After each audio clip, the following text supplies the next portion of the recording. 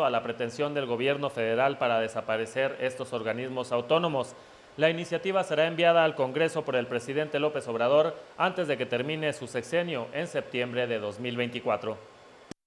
Bueno, pues es que estos organismos autónomos es como el INE, son organismos que nos han costado mucho trabajo crear, no solamente pues a los chihuahuenses, sino a todos los mexicanos y que Chihuahua ha sido uno de los estados que ha promovido la creación y el fortalecimiento de estas instituciones tan importantes para poder tener transparencia, para poder tener una mayor credibilidad hacia los ciudadanos, para que los ciudadanos sepan y sobre todo estemos seguros de que el recurso que nosotros ponemos en manos de los gobiernos pues se use de buena forma. Entonces, pues eran pasos eh, agigantados que se habían logrado con estas instituciones y bueno, pues yo como gobernadora te puedo decir que no vamos a permitir en lo que cabe para nosotros en nuestra responsabilidad que desaparezcan estos organismos, estas instituciones y que al contrario, vamos a seguir promoviendo las instituciones que hacen que el recurso de los chihuahuenses, en este caso de los mexicanos, se use de forma correcta.